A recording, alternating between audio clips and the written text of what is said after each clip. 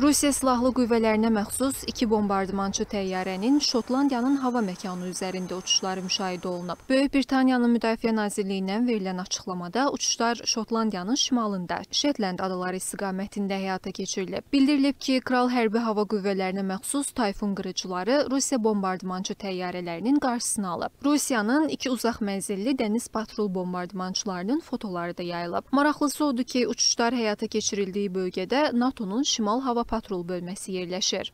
Rus hava qüvvələrinin təxribatçı addımı regionda çaşqınlıq yaradıb. Analitiklərin fikrincə döyüş təyyarələri ərazidə kəşfiyyat işləri aparıblar. Lakin Britaniyanın hava qüvvələri vəziyyəti nəzarətdə saxlayaraq Kremlin provokativ hərəkətinin qarşısını alıblar. Onlar qeyd edirlər ki, Britaniyanın Kremldən Ukrayna müharibəsi istisna olmaqla heç bir problemi yoxdur. Digər maraqlı məqamsa NATO-nun hava məkanına icazəsiz daxil olmamaq haqqında qaydalara baxmayaraq Rusiya qırıcılarının həmin ərazidə necə uçuş aparmasıdır.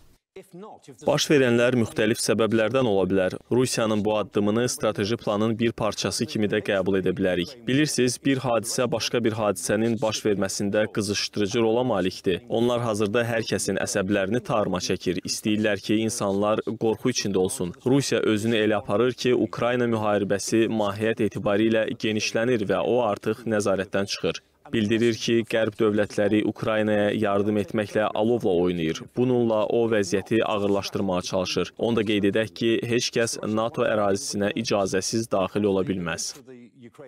Yeri gəlmişkən, Niderland da Rusiyaya bu hərəkətinə görə F-16 qırıcılarını havaya qaldırıb. Ölkənin hərbi hava qüvvələri də məlumatı təsdiqləyib. Hökumətin bəyanatına görə iki Niderland F-16 qırıcısı xəbərdarlıqdan sonra havaya qalxıb və ölkənin hava məkanını qorumağa hazır olub. Bəyanatda qeyd edilib ki, Niderland hava məkanına yaxınlaşan iki Rusiya döyüş təyyarəsi Danimarkanın hava məkanında dayandırılıb.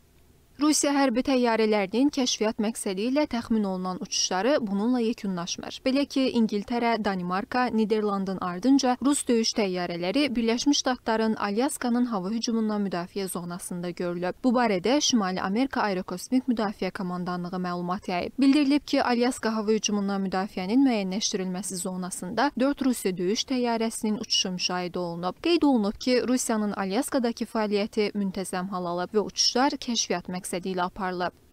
Qeyd edək ki, baş verənlərlə bağlı Rusiya Müdafiə Nazirliyinin məlumatında bildirilib ki, uzaq mənzilli təyyarələr Baltik, Barents, Norveç, Şərqi Sibir, Çukçi, Bafort dənizləri və Şimal Buzlu okeanın neytral suları üzərində hava məkanında planlı uçuşlar həyata keçirib. Nazirlik bütün uçuşların hava məkanından istifadə ilə bağlı beynəlxalq qaydalara uyğun aparıldığını açıqlayıb, lakin uçuşların hansı məqsədlə keçirilməsi barədə məlumat verilməyib.